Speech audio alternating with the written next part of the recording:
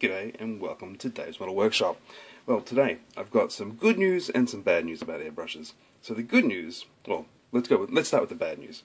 The bad news is um, a couple of weeks ago I did a video all about airbrushing and what you would get if you what you would look for if you were to upgrade from a really basic airbrush. And this is my really basic airbrush. It's a Sparmax DH103, and please excuse how grubby it is. It's really dirty. It needs a good clean. The reason it's not clean is that the last time I was using it, I managed to totally shear off the thread on the nozzle. So in the video that I did recently, I said to you guys, "This is great, great airbrush, wonderful, perfect, never given me a spot of bother in ten years." Literally three weeks later, this happened.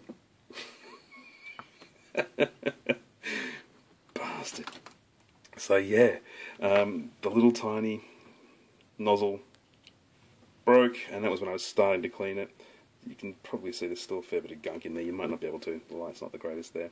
Fair bit of gunk in there. It's starting to clean, but then, ah, yeah, taking it off, and it just completely sheared off. I hope you can see that. completely sheared off the thread on the nozzle. So inside the housing is still the thread of the nozzle. And I'm buggered if I know how to do that, how to get that back. I think I'm going to have to use a drill and just try and drill it out. And I think that's potentially going to stuff up the thread on the inside of this. It just...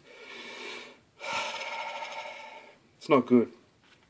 Uh, so if you've got any suggestions, please let me know below because I've got my replacement Sparmax nozzle.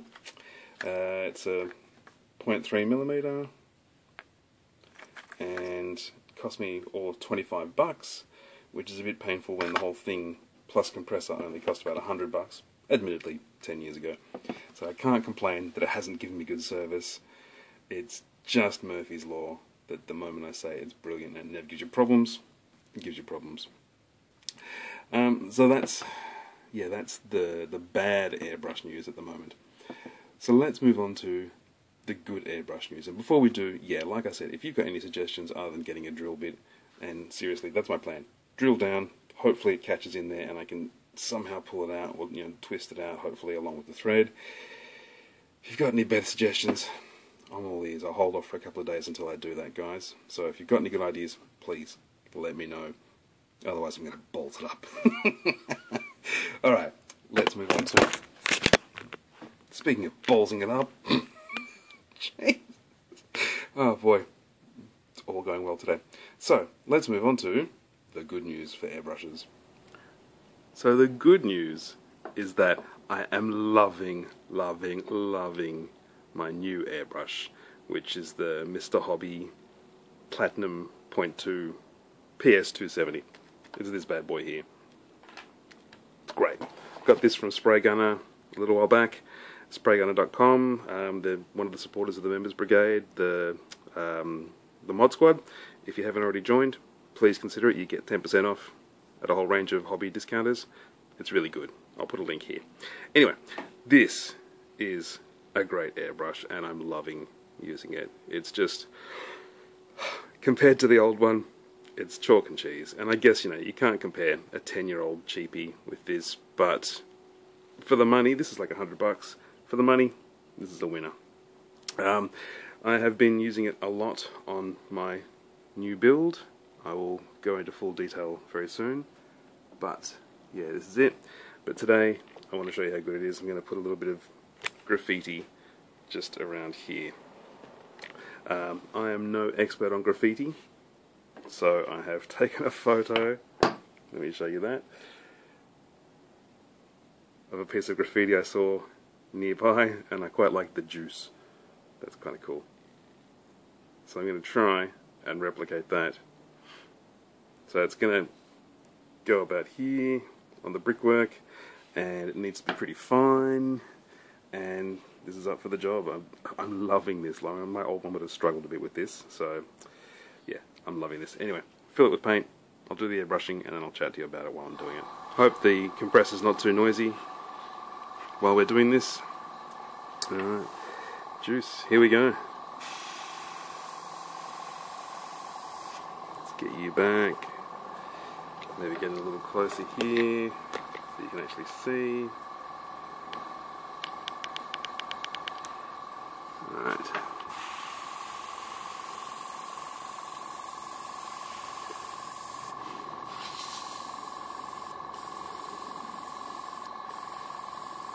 So what I've done is I've used the cool little valve on the bottom, which I love, to really dial it back. Actually, I'm just going to do this properly and not talk while I do it.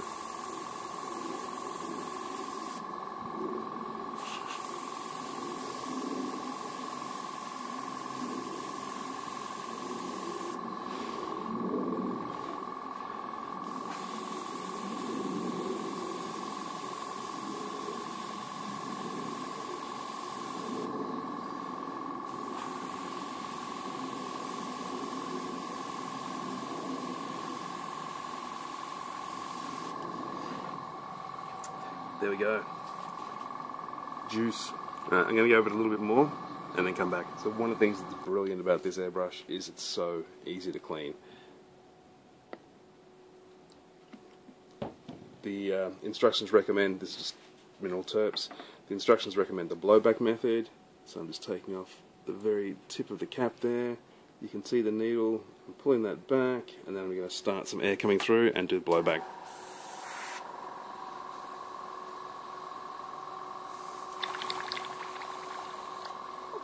get that great bubbling and just spraying it off to the side here.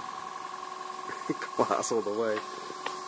Yeah, it's just really, really easy to clean. I mean, that's not all. That the instructions recommend that's all you need to do. That's not all you need to do. But I haven't had to fully strip this once in using it for you know, four weeks now. It's great. This is boring, so I'll come back. While I'm doing this, I will show you how much control this little valve gives you.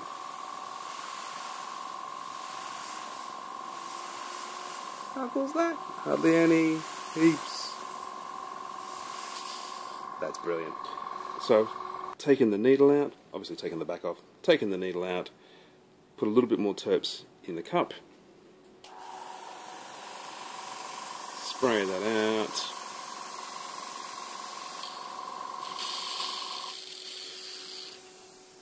And we're done. It's clean. I'm happy.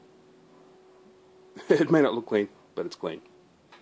Easy. Yeah, so there's no there's no farting about in you know removing the nozzle or anything like that.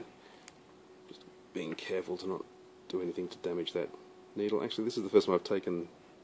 I'll show you on camera. This is the first time I've taken the air head off, and so I'm not mucking about taking out that nozzle, which I think is the reason that I've broken my last one because I had to do that every single time. So that is really good. I love this. Really, really rate it. Pull that needle back before I put this back on. I mean, the seals feel a lot better too, compared to the old one. A hell of a lot better.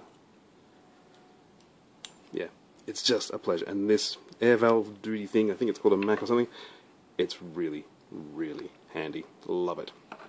Um, the other stuff I've been, so I've been looking into this a little bit because I'm so happy with it. And the other stuff I've read is that um, you can adjust, uh, you can interchange the needles. Sorry, there's a plane going overhead. So this is a point two needle, but you can put a point three needle in. You need a kit to convert the needle and the head and the nozzle inside. But still, that's pretty good that the whole body, you know, you can have two separate airbrushes basically for the price of one. That's really good too. Um, what else? Really, really easy cleaning, the little valve.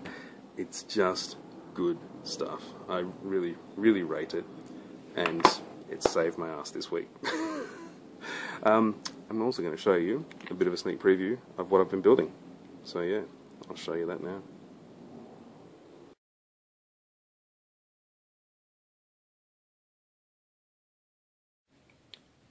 Here's the finalised graffiti. It's not the best but it'll do. I'm terrible at graffiti. I, I've never done graffiti, and I don't know how it's done. I, I don't have that fluidity of movement of you know having practiced it a million times. Um, a couple other bits of graffiti on this. So there's a few pieces here on the door, and I had to practice all of those as well. Very happy with the door lock. And there's a couple of other little pieces of graffiti just there on the drain pipe. So, shall I show you what I've been building? That's the building. Let me turn off this. It's called the Switch House, and it's based on an actual building here in Seddon, in the inner west of Melbourne. A few fallen leaves.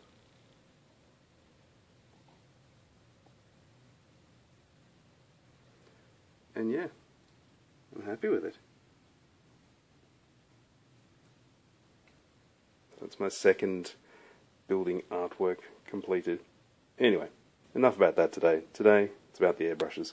So yeah, one good, one great, and one not so great. Still don't know what the hell to do about the end there. Yeah. Please, help me. Alright guys, I'm going to leave it there today, and I hope you're all Uh, airbrushing happily, and I'll chat to you next time on Dave's Model Workshop. See ya.